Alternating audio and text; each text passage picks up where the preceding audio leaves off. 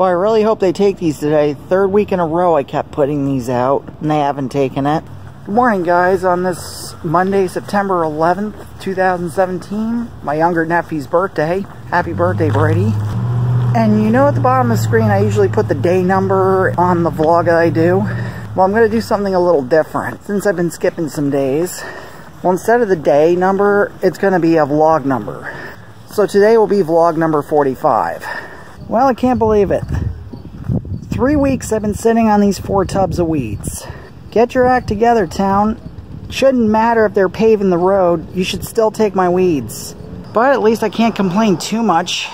At least it's sort of starting to look like a backyard again. See, the reason why I have some dried cat food out there, and lo and behold, the reason's coming up right now.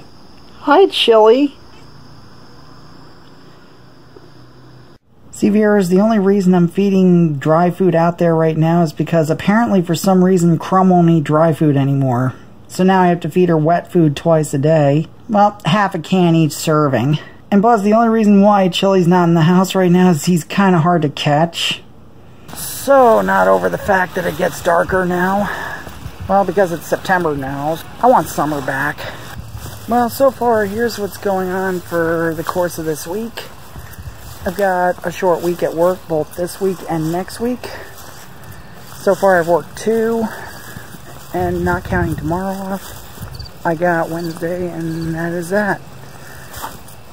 Well, apparently, even though I don't go down till Thursday night, I actually took it off anyway.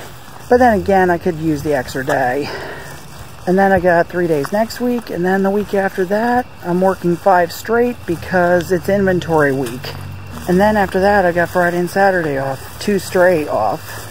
And of course, I go to my folks' house this weekend to house sit because they got another show.